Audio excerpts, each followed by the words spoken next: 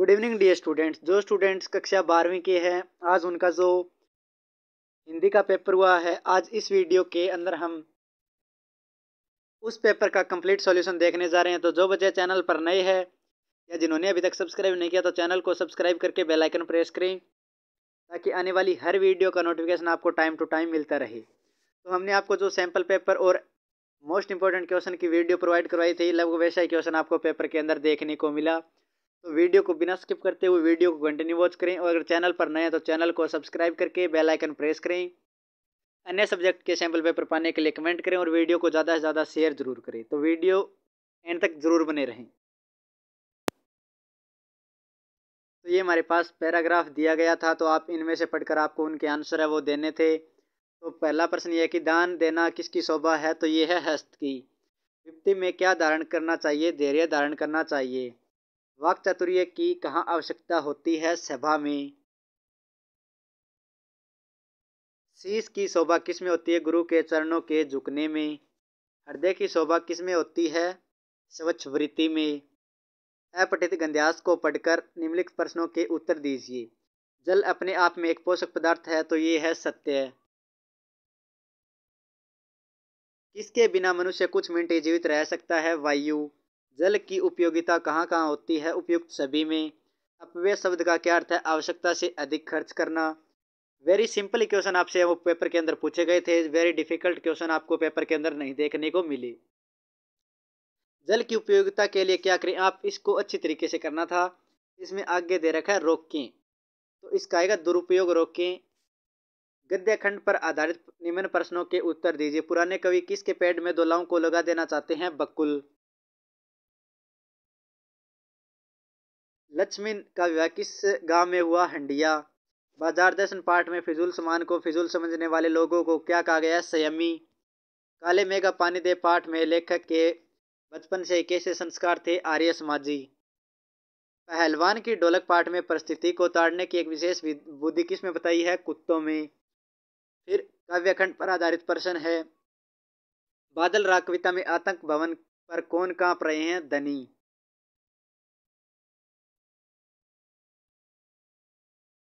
थकापंथी क्या सोचकर जल्दी जल्दी चलता है कि मंजिल अब दूर नहीं है? पतंग कविता में लाल सवेरा को कैसा कहा गया है? खरगोश की आँखों जैसा। पर्दे पर कीमत, कीमती चीज़ क्या है? वो है वक्त। उषा का जादू किस से टूटने की बात कही गई है? सूर्योदय से। अगला क्वेश्चन ये कि रेडियो नाटक किस प्रकार का माध्यम है? तो ये है ये है श्रव्य माध्यम। अगला जो क्वेश्चन हमारे पास कि भारत में गोवा में सबसे पहला छापाखाना कब खुला? पंद्रह सौ छप्पन ईस्वी में। भारत अगला प्रश्न ये है हमारे पास कि भारत की पहली साइट कौन सी है? तो वो है रिडीफ किसी समाचार संगठन के लिए एक निश्चित मानदेय पर काम करने वाले पत्रकार को कहते हैं अंशकालिक पत्रकार। इसका छठा पार्ट है, छह कारों में क्या आता है? तो ये आते हैं उपरोक्त सभी। अतीत में दबे पाँव पाठ में बौद्ध स्तूप कितने फुट ऊँचे चबूतरे पर बना है वो है पच्चीस फुट। अगला क्वेश्चन हमारे पास यशोधर खुश होते हुए भी जेंपे और जेंपते हुए खुश हुए, यह दा उन्होंने किसने सीखी? किशन दास से। यशोधर बाबू दफ्तर से लौटते समय कौन से मंदिर जाते? विड़ला मंदिर। जूझ पाठ में लेखक दत्ताजी राव किसके साथ गए? अपनी माँ के साथ। जूझ पाठ में मंत्री नामक मास्टर क्या पढ़ाते थे? वो पढ़ाते थे गणित। नैतिक शिक्षा पर वेरी सिंपल क्वेश्चन ही पूछे गए थे और हमने आपको ये चैप्टर भी बताया था कि आप इसके अंदर से ज़रूर पढ़ें। इसका कहा था, आपका धन्यवाद।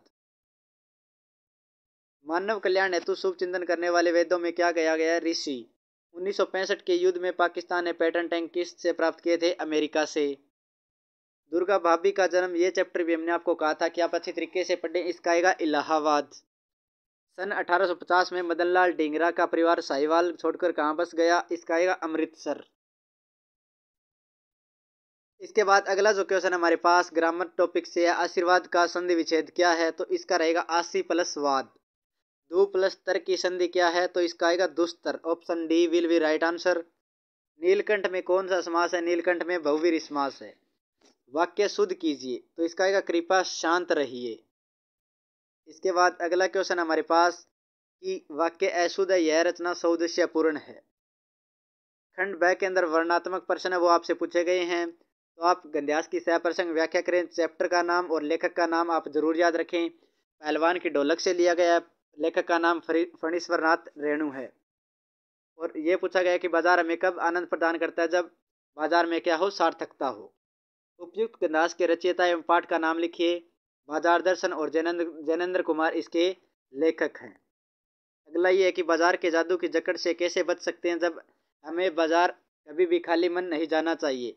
लू में जाते समय पानी क्यों पीते हैं?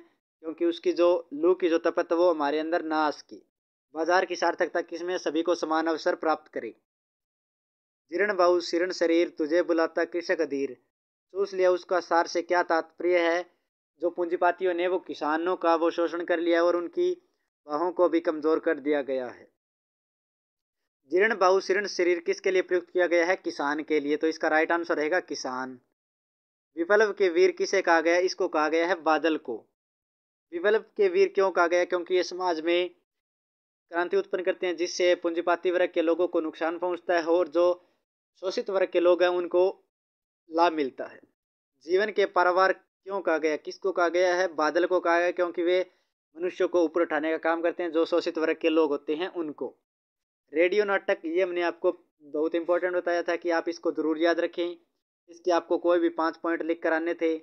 ये क्वेश्चन हमने आपको कल की वीडियो में भी बताया था कि आप इसको ज़रूर याद रखें। कैमरे में बंद अपाइस करुणा के मुखोटों में छिपी क्रूरता की कविता क्या है?